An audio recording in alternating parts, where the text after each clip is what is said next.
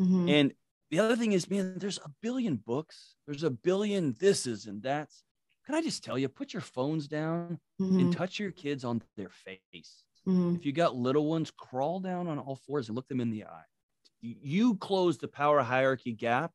If you're a Christian believer, the same way God closed that gap with us, Mhm. get down on all fours and be with be with your kids. And what that does to their nervous system, to their physiology, to their spirits is they know they can anchor in. I am loved, and when I'm loved, I'm safe.